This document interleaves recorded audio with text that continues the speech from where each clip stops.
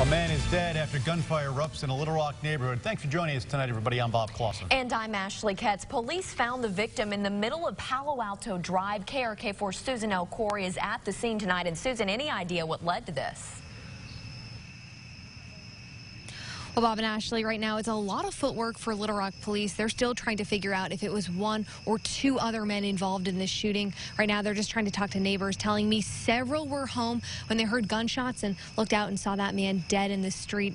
Now, we did see a lot of officers out here just after 6 tonight, and that's when they first got this call uh, police saying they don't know if this is where the victim lives, but they do believe he and several other men were fighting when someone pulled out a gun. No names being released at this time. One thing police did bring up is where this shooting happened, and here's what they had to say.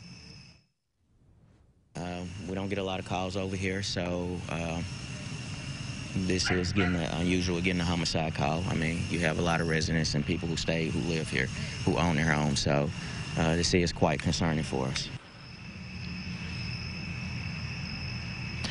A little earlier, we did see police going door to door. They tell me that's because they believed there may have been a suspect out here, but ultimately didn't find anyone. Something else officers tell me could come into play here is surveillance videos. They say the homes here are pretty close, and they were just trying to check and see if any had cameras that may show what happened.